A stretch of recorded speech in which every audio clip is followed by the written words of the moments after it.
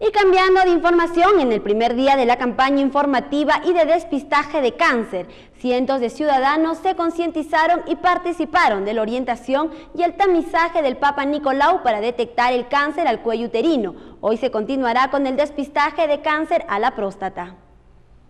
En lo que va del año, más de 200 casos de cáncer se detectaron en el Hospital Daniel Acides Carrión. Y en el primer día de campaña gratuita en el Parque Huamanmarca, cientos de ciudadanos acudieron a realizarse despistajes de esta maligna enfermedad bastante, bastante preocupación por lo que es de cáncer, cáncer de próstata, cuello uterino, estómago. Hemos estado atendiendo a bastantes personas, no solo en este lugar, sino también en otro lugar, un ambiente privado de lo que es descarte de cuello uterino. Como parte de la sensibilización, el personal de salud mostró los tipos de cáncer en su etapa final presentados en estos envases con formol. Entonces mucha gente piensa que el cáncer no se cura, pero sí se cura y sí se puede prevenir, por eso estamos haciendo este tipo de campañas.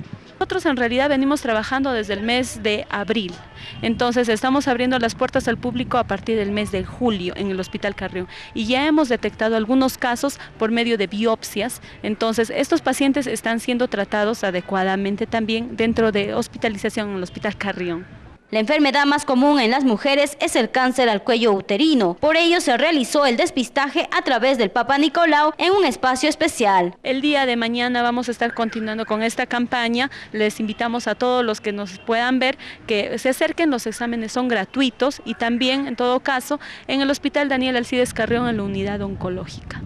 Para hoy está programado el despistaje de cáncer a la próstata que afecta a varones mayores de 50 años, que por temor a la prueba muchos desisten del tratamiento que podría salvarles la vida.